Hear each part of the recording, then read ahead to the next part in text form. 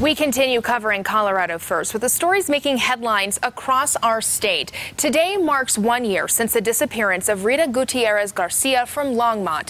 She was last seen in the early hours of March 18th last year after leaving a downtown bar. She had been partying with friends, celebrating St. Patrick's Day, and then months later, Longmont police did name a suspect in her disappearance.